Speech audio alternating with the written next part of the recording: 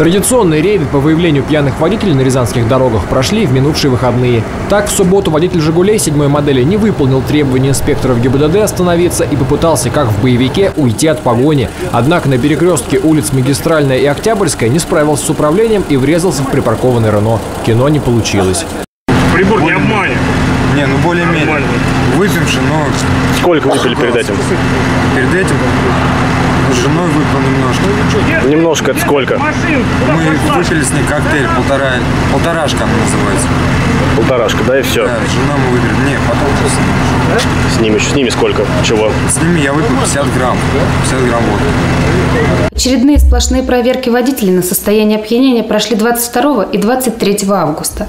За два дня в Рязанской области было выявлено 25 водителей, которые управляли транспортными средствами в состоянии опьянения, и один водитель, который отказался от прохождения освидетельствованием на состояние опьянения.